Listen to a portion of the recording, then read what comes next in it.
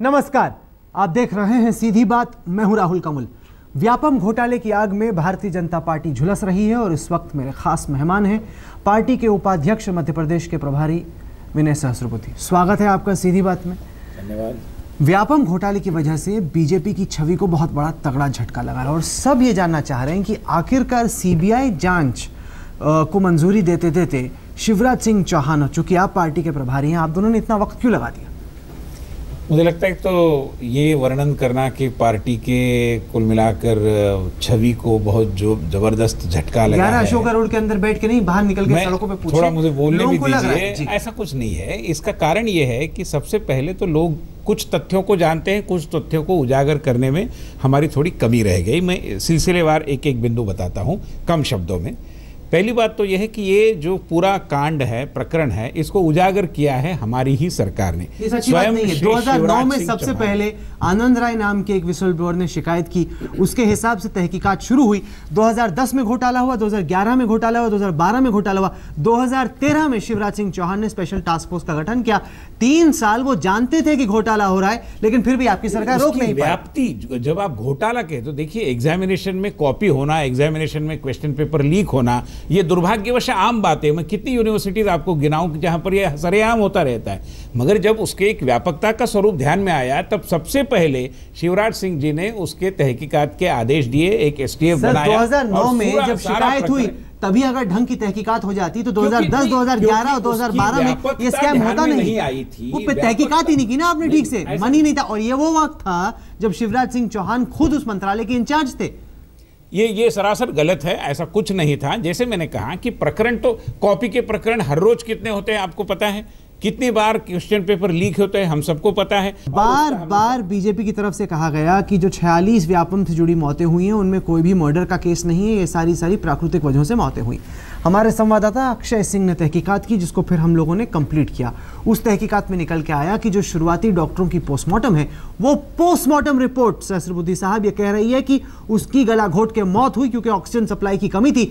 और आप इसके बावजूद बार बार झूठ बोलते हैं लोगों को गुमराह करते हैं। देखिए ये सारा विषय जो है एक क्रिमिनल केस के अंदर तहकीकात का विषय है। सरकार के पास जो तथ्य आए थे उसके आधार पर कुछ बातें बताई गई मगर इन सारी मौतों को लेकर कुल मिलाकर सारे प्रकरण की तहकीकात करने में हम कभी उसके आड़े में नहीं आए और कभी भी हमने ये कुछ कहा नहीं। नहीं नहीं देखिए नम्रता दामोर के बारे में कुछ नए तथ्य सामने आए हैं। तथ्य है नहीं। ये नए तथ्य है नए तथ्य नहीं है। जब मौत हुई तीन साल पहले तब उसी मौत की रात को पोस्टमार्टम में लिखा हुआ है कि गला घोट के उसकी मौत हुई उसके बाद से ये पाखंड रचा गया, ये बताया गया लोगों को कि ये मौत नहीं सुइसाइड है।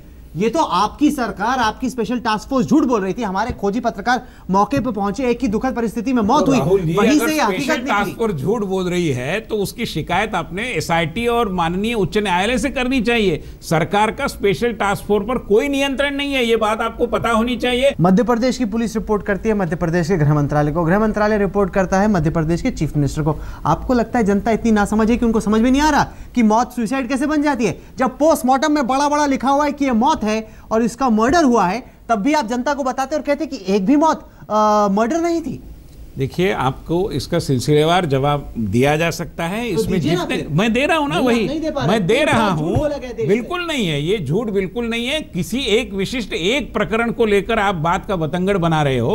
उसकी जाँच के लिए हमने कभी मना किया है। अब तक क्यों नहीं हुई सर तीन साल अब तो जाँच? क्यों नहीं? ये तो ये तो तो माननीय उच्च न्यायालय का काम है। तो वो आदेश देते तो तो आप ये कह रहे हैं सकते हैं। साहब सीधी बात पर कि उच्च न्यायालय अपना काम ठीक से नहीं कर रहा था। वो हम नहीं कह रहे हैं, मैं तो कह रहा कि झूठ बोला जा रहा है। हमारे बारे में हमारी जानकारी और हमारे जो तथ्य है उसके अनुसार जो काम चल रहा है वो सही काम है। अगर आपके पास नई जानकारी है तो एसटीएफ सर यही तो मैं कह रहा हूँ कि यही नई जानकारी नहीं है। नहीं, नहीं। ये शुरुआती पोस्टमार्टम रिपोर्ट है उस डॉक्टर से बातचीत हुई। डॉक्टर ने लिखित में अपने हस्ताक्षर के साथ कहा है ये मर्डर है। और बार बार बीजेपी देश को बता रही है कि हमने किसी का भी मर्डर नहीं हुआ जबकि पोस्टमार्टम की रिपोर्ट खुद कह रही है कि ये मर्डर है। ये तथ्य जो है जैसे ये नए तथ्य नहीं है। ये नए तथ्य है। सर चार साल इन बातों को पहले रिपोर्ट नहीं कैसे हो सकती है? देखिए इसको किसी ने दबोचने की कोशिश की नहीं है। देखना ना चाहा नहीं, नहीं, हो, ये बिल्कुल फ़र्क हो नहीं, सकता है। बिल्कुल नहीं ये नए तथ्य है इसको उजागर जब हो हुआ है तो इसकी इंक्वायरी मतलब तो आप ये कह रहे हैं कि आज तक के खोजी पत्रकार पूरी मध्य प्रदेश की स्पेशल टास्क फोर्स की तमाम पुलिस फोर्स जो कि शिवराज सिंह चौहान कहते हैं आपके बेस्ट पुलिस ऑफिसर हैं हमारा एक खोजी पत्रकार उन सब पे हावी है। देखिए मैं कोई मध्य प्रदेश सरकार के अंदर काम नहीं कर रहा हूँ। यहाँ तो केवल एक इस प्रकरण का, ये एक प्रशासनिक विफलता का प्रकरण है, इसमें कोई संदेह नहीं। और जब इसको ध्यान में लाया गया, तब इसकी खोजबीन करने की दृष्टि से एकदम एक बहुत ही प्रामाणिक अधिकारी की अध्यक्षता में उसके प्रमुखत्व में एसटीएफ को बनाया गया एसआईटी को बना गया सुप्रीम कोर्ट के पास हाई कोर्ट के पास पूरा सौंपा गया। तो हमारे इरादों पर शक करने की कोई आवश्यकता नहीं ऐसा कोई कारण नहीं नहीं है। मध्य प्रदेश में ही शहला महसूद की मौत होती है। फ़ौरन मुख्यमंत्री कहते हैं कि ये केस को सीबीआई को सौंप दिया जाए। यहाँ पर 46 व्यापम से जुड़ी मौतें होती हैं जब तक सुप्रीम कोर्ट में ये साफ़ संकेत नहीं मिलते कि अगर आपने इसको ट्रांसफ़र नहीं किया तो सुप्रीम कोर्ट आपकी खाट खड़ी कर देगा तब तक बीजेपी टस से मस नहीं होती आपके मुख्यमंत्री उसको ट्रांसफ़र करने को तैयार नहीं मतलब क्या निकाला जाए गलत पद्धति से कैसे? कर रहे हो कैसे? आपको ये पता है बिल्कुल पता है कि नवंबर में पाँच नवंबर 2014 को सीबीआई के पास ये सारा प्रकरण ले जाने के लिए श्रीमान दिग्विजय सिंह ने अर्जी की थी, जिसको हाईकोर्ट ने पूरी तरीके से नकार दिया। High court is on record having said कि we are happy with the STF तो अब क्या बदल गया? अब क्यों आपने कर वो दिया हाई फिर? कोर्ट को पूछिए हमको क्यों पूछते हो? हाईकोर्ट ने तो अभी भी कुछ नहीं बोला है। तो हाई कोर्ट ने तो अभी भी कुछ नहीं बोला ना। यू आपका are unnecessarily addressing the questions which you need to address to the high court हमारा ये इसमें कोई संदर्भ नहीं है। सर आप ही नहीं करना चाह रहे नहीं अभी भी हमने तो उसी समय कहा था, आप हमारे हैं। नहीं नहीं नहीं। अभी आप जनता को फिर से गुमराह करें आप कह रहे हैं कि हाईकोर्ट ने मन बदला मैं आपको बताऊँ जब हाईकोर्ट में मामला गया शिवराज की चिट्ठी गई तो हाईकोर्ट ने कहा नहीं हम इस पे कोई फैसला नहीं लेंगे। हाईकोर्ट ने तो अभी भी फैसला नहीं बदला। फैसला तो मध्य प्रदेश की सरकार का बदला मैं आपसे जानना चाह रहा हूँ कि मध्य प्रदेश की सरकार का फैसला बदला क्यों? आपको मुख्यमंत्री जी ने इसका जवाब दिया है कि जब जनता में इस तरीके का गुमराह करने की या उनके अंदर संदेह निर्माण करने की कोशिश की जा रही है चूँकि हमारा दामन साफ़ है हमने प्रोएक्टिवली हाईकोर्ट को लिखा है निर्णय हमने नहीं किया है। हमने हाईकोर्ट को लिखा है जो हमारे काम के चौखट में आता है कि we can request the high court we can not order the inquiry अभी सीबीआई भी हमारे, आप कह सकते हैं कि ये वहीं पर तो आपकी भी सरकार है। तो संदेह जिसको लगाने का ही काम करना है उसको कौन रोक पाएगा? मगर हमारा दामन साफ़ है हमारी नीयत सच है और हम किसी भी तरीके के सच से कोई मुकरने की आवश्यकता नहीं हमें। जो भी सच होगा दूध का दूध पानी का पानी उमा। भारती कहती हैं कि उनकी जान को खतरा है। उमा भारती कहती हैं कि उनसे जुड़े लोगों की जान को खतरा है। वो यहाँ तक कहती हैं कि मध्य प्रदेश में रहते वक्त उन्हें डर लगता है। या आपकी पार्टी की वरिष्ठ नेता हैं मध्य प्रदेश की पूर्व मुख्यमंत्री हैं और केंद्र सरकार में जल संसाधन मंत्री हैं। और उन्हें मध्य प्रदेश जाने में डर लगता है किस तरह की बात है सर? हमने ये और माननीय मुख्यमंत्री जी ने ये बार बार कहा है कि सुश्री उमा भारती जी पार्टी की वरिष्ठ नेत्री है और उनका कुछ एक आकलन होगा। हम उस पर टिप्पणी नहीं करते। हमारे घराने की ये पद्धत नहीं है कि नेताओं के बयानों पर हम टिप्पणी करें नहीं पर कुछ ना कुछ तो मजबूरी रही होगी क्योंकि उनको लगा उन्होंने क्या कहा मेरे साथ इंटरव्यू उन्होंने कहा कि मध्य प्रदेश की क्राइम ब्रांच जो तहकीकात कर रही है, उसमें गड़बड़ी हो रही है, कुछ लोगों को बचाने की कोशिश की जा रही है, कुछ लोगों को फंसाने की कोशिश की जा रही है। अब ये तो आप छोड़िए, दिग्विजय सिंह क्या बोलते हैं? कांग्रेस में तो मैं जा ही नहीं रहा। ये तो आप ही की पार्टी के भीतर से बातें निकल के आ रही हैं। बार बार मैं वही जवाब दूँगा ना कि जो घर के अंदर की बात है हम घर के अंदर उसकी चर्चा करते हैं मीडिया के सम्मुख नहीं गृह मंत्री बाबूलाल गौर खुद पूर्व मुख्यमंत्री हैं। उनका भी मैं इंटरव्यू करता हूँ। आपका जवाब है नहीं तो आप देंगे नहीं पर जनता तो समझ रही है जनता देख रही है जनता को सब कुछ पता है जनता देख रही है। जनता बार बार इस सर, सरकार पर अपना विश्वास जता है, चुकी सर, है। इसीलिए बार बार सारे चुनावों में हम सफल हो रहे हैं। आप जनता के न्यायालय की बात मत करिए राहुल जी। घोटाले को चुनाव से ना जोड़ के देखिए। बाय मीडिया है। मन- अभी ये खत्म हो गया। मनमोहन सिंह भी यही कहते थे कि टेलीकॉम घोटाले का जवाब जनता ने 2009 के चुनाव में दे दिया। घोटाले को आप चुनाव के नतीजे से जोड़ के ना देखें। हम घोटालों को नहीं हम जनता के विश्वास को जोड़कर देख सर एक मंत्री आपका जेल में है। केवल एक मंत्री का पी- मंत्री के पीएस पर आरोप है। मंत्री के पी- उसको छोड़ने की कवायद हमने की नहीं है। सर, मुख्य- मुख्यमंत्री के law पर- सर मुख्यमंत्री के पीएस पर आरोप है कि 200 लोगों की उसने भर्ती कराई अपनी बेटी की भर्ती कराई। आरोप तो बहुत सारे अरे सर वो चार्जशीट हो चुका है। आरोप क्या? तो आप आप ही के एसटीएफ ने उसको चार्जशीट सर, चार्जशीट क्या है उसको? उसको पुलिस ने चार्जशीट किया है और फिर भी उसको अग्रिम जमानत लोअर कोर्ट से मिल जाती है। वो जेल भी नहीं जाता। इस तरह की तो वीवीआईपी ट्रीटमेंट मिल रही है मध्य प्रदेश में। ये तो सारे हाईकोर्ट के हाईकोर्ट में नहीं हुआ। है ना। हाईकोर्ट में तो गया ही नहीं सर। लोअर कोर्ट से अग्रिम जमानत मिली आप बार बार हाईकोर्ट को ट्विस्ट प्रिवेंट कर रहे हैं। हाईकोर्ट जो विषय चाहे अपने कार्य कक्षा के अंदर ला सकता है। उन्होंने कहा है कि आप ऑर्डर्स गृह मंत्री से नहीं लेंगे हमसे लेंगे। यही वो पार्टी है। जो 26 मई को कह रही थी कि हम पाक साफ़ हैं। एक भी आरोप साल भर में हमारे ऊपर नहीं है। अब पिछले सात हफ़्ते में वसुंधरा राजे पर आरोप, सुषमा स्वराज पर आरोप, स्मृति ईरानी पर आरोप, पंकजा मुंडे पर आरोप, और अब व्यापम की आग। क्या हो रहा है?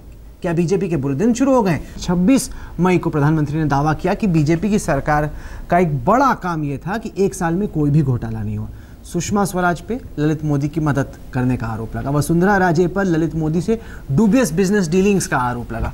शिवराज सिंह चौहान व्यापम की आग में झुलस रहे स्मृति ईरानी की फेक डिग्री का मामला और पंकजा मुंडे पर गलत कॉन्ट्रैक्ट देने का मामला। सर पाँच पाँच घोटाले सात हफ़्ते के भीतर? देखिए, ये कोई घोटाले और स्कैम इस तरीके के शब्दों का प्रयोग करने से वो घोटाले नहीं होते। इन सारे विषयों में उन संबंधित विभागों ने, मंत्रियों ने और पार्टी के प्रवक्ताओं ने जो भूमिका रखनी चाहिए वो रखी है। जनता उसके प्रति कोई मतलब वो संदेह का और स्कैम का और बहुत बड़ा कोई कांड है, ऐसा वातावरण निर्माण करने का एक प्रयास, एक कोशिश मीडिया के माध्यमों से कुछ वर्गों के द्वारा ज़रूर हो रही है क्योंकि देखा नहीं जाता लोगों को भी ये समझ में नहीं आता कि एक साल हुआ कुछ भी नहीं हुआ अभी इनके ऊपर आप भी करो किसी का कोई वेस्टेड इंटरेस्ट 425 करोड़ रुपए के घोटाले का आरोप ललित मोदी पर है। आरोप। सर ईडी उसकी मोदी तहकीक बात नहीं कर मैं रहा तो वो तो ईडी ईडी की तहकीकात कर रही है। उसको एक साल में लाने के लिए अब तक आपकी सरकार ने कुछ नहीं किया ये क्यों हुआ सर? ऐसा नहीं एक है। साल में वापस लाने के लिए आपने अब तक पुराना है। पुराना है मतलब? स्वयं सक्रिय हो रही है अब हो रही है ना जब मीडिया ने इसको उजागर किया तब तक आपने क्या किया एक साल खुद? ऐसा जो भी ईडी के हर कोई गतिविधि कोई प्रकाश में लाई जाती है ऐसा तो कुछ हुआ ही नहीं था। उतना उतना अपना अपना काम करते रहती है। तहकीकात की एक गति होती है उसके अनुसार होता रहता है। क्या आपको लग रहा है कि कहीं ना कहीं अब बिहार एक बहुत बड़ा टेस्ट केस हो जाएगा? कि क्या बिहार में बीजेपी जीत पाती है या नहीं? और अगर कहीं दिल्ली वाला हार बिहार में हो गया तो लोगों को लगेगा कि मोदी मैजिक गया। देखिए हम तो हर चुनाव को गंभीरता से लेते हैं। दिल्ली का चुनाव भी हमने गंभीरता से ही लिया था उससे कई गुना अधिक हम बिहार का भी चुनाव गंभीरता से लेंगे और उसके लिए पूरा संगठन सन्नद्ध है। हमने रणनीति बनाई है हमारे मित्र दल हमारे साथ है और जैसे अभी विधान परिषद के चुनाव में आपने देखा होगा कि जनता भी हमारे साथ है और बिहार में एनडीए की सरकार बनना बनना बिल्कुल तय है। नहीं क्योंकि लोग ये कहते हैं ना कि मौन मोहन सिंह की बात होती थी। अब मौन मोदी हो गया है। एक के बाद एक इतने बड़े आरोप और प्रधानमंत्री खामोश। ऐसा कुछ नहीं है। है तो है। प्रधानमंत्री जी ने अपनी बातों को पार्टी के अंदर लोकसभा में कई बार उजागर किया है। जब कभी किसी ने मान लीजिए कुछ बातें जो कहनी नहीं चाहिए कही थी उनको जो भी संदेशा देना था वो उन्होंने दिया है। राजनाथ सिंह कहते हैं कि ये बीजेपी की सरकार है कांग्रेस की नहीं घोटाला हुआ तब भी हमारा कोई नेता इस्तीफा नहीं देगा। क्या बात हुई है? कि कोई भी आरोप लगे हम नहीं तात्पर्य ये था कि केवल मीडियाबाजी और आरोपबाजी मीडिया ट्रायल बाय मीडिया करने से हम हिचकिचाहट में आने वाले नहीं है। सर आपको याद है जब अशोक चवन पे आरोप लगा जब मामला कोर्ट गया भी नहीं था महज आरोप पर बीजेपी के प्रवक्ता क्या कहा करते थे? लगता है वो सारे टेप निकाल के चलाने होंगे तब आपको याद होगा कि जब आप विपक्ष में बैठे थे तब आपकी भूमिका क्या होती थी? अब जब कांग्रेस वही हमला आप पर कर रहा है तब आपको ये ट्रायल बाय मीडिया नज़र आ रहा है। देखिए उस समय वो न्याय न्यायालय ने में, में केस गई बहुत बाद में गया केस। नहीं, नहीं, आपने तो अशोक चवन का इस्तीफा उस दिन मांग लिया जिस दिन मीडिया में एक खबर निकल के आई। आपने थोड़ी ना इंतज़ार किया। बात बात पे आप इस्तीफे की मांग करते थे कांग्रेस में कम से कम इतनी शराफत तो थी जब वो आरोप लगता था तो हटा दिया करते थे जिस नेता पे आरोप लगा। आप तो वो भी नहीं करते हैं। देखिए, अंदरूनी खोखलापन इतना था कि उनको आरोप करने का और उनकी अंदरूनी राजनीति भी होती थी तो त्यागपत्र मांगा, इसका मतलब बहुत बड़ा एहसान किया, ऐसा थोड़ा ही होता है। काफ़ी सारी चीज़ें होती है और हम ऐसे बुजदिल नहीं है कि कोई एकदम से त्यागपत्र को मांगे तो एकदम से त्यागपत्र दे, क्योंकि हमारा अपना भी रिकॉर्ड है, हमारी अपनी भी तहकीकात की पद्धति होती है। कहीं ना कहीं आपको कम से कम ये लगता है कि इतने सारे आरोपों की वजह से झड़ी है आरोप की प्रशासन के काम पर आप जो ज़ोर देना चाह रहे थे, उससे कहीं ना कहीं ध्यान भटा है और पार्टी अब आग बुझाने के काम में लग गई। ऐसा बिल्कुल नहीं है। आपको कहाँ दिखाई दिया? आग लगी नहीं तो बुझाने का कोई सवाल ही नहीं आता। देखिए पूरे बार बार ये आग दिख रही है, बार बार ये को हूँ। पार्टी बिल्कुल नहीं बिल्कुल। नहीं। पार्टी का तंत्र संगठन तंत्र और सरकार अपने इरादों पर अडिग है कायम है सक्रिय है और बगैर हिचकिचाहट हम अपना अपना काम प्रामाणिकता से और पूरी निष्ठा से कर रहे हैं और जनता इसकी गवाह है। इसलिए जनता को भी अब पता है। देखिए राहुल जी मैं आपको एक बात बताऊँ मीडिया में मैं भी था। और मीडिया में हमारे कई मित्र हैं। सर मैं आपको बताता हूँ मैं आपको बताता हूँ मीडिया को सक्रिय कब होना पड़ता है? जब तीन साल पहले की पोस्टमार्टम की रिपोर्ट मर्डर से सुइसाइड बन जाती है जब तीन साल तक सरकार बार बार हर मंच पर आके कहती है कि एक भी व्यापम से जुड़ी मर्डर की केस नहीं है सारे के सारे सुइसाइड के केस हैं। उस वक्त पर मीडिया को अपनी आवाज़ बुलंद करनी होती है और जो लोग हेर फेर कर रहे होते हैं उनके खिलाफ अपनी आवाज़ को उजागर करना होता है और हम यही कर रहे हैं और आगे चल के भी ये करते रहेंगे। बहुत शुभकामनाएँ हैं और और इसी वजह से ये केस एसटीएफ से निकल कर। सीबीआई में गया सुप्रीम तो कोर्ट के अधीन आया आप लोगों की रहती तो अब तक आपने ये नहीं किया होता ये हकीकत है आपको हकीकत पता है कि नवंबर महीने में इसी तरीके की अर्जी को खारिज कर दिया। चलिए, विनय सहस्रबुद्धि साहब, आपने अपनी बातें हमारे दर्शकों के सामने रखी, मैं और नहीं कहूँगा। दर्शकों पर छोड़ते हैं कि वो बातों का क्या मतलब निकालते हैं। आपने हमें वक्त दिया, इसके लिए आपका बहुत बहुत धन्यवाद। तो ये थी विनय सहस्रबुद्धि से आज की सीधी बात। ये कार्यक्रम आपको कैसा लगा? आप अपनी राय हमें ईमेल के ज़रिए भेज सकते हैं। हमारा ईमेल का पता है एस साथ ही साथ इस कार्यक्रम को आप हमारी वेबसाइट पर देख सकते हैं, जिसका पता है डब्ल्यू सीधी बात। तो अगले सप्ताह एक बार फिर से मुलाकात होगी। तब तक के लिए देश और दुनिया की बाकी खबरों के लिए आप देखते रहिए आज तक।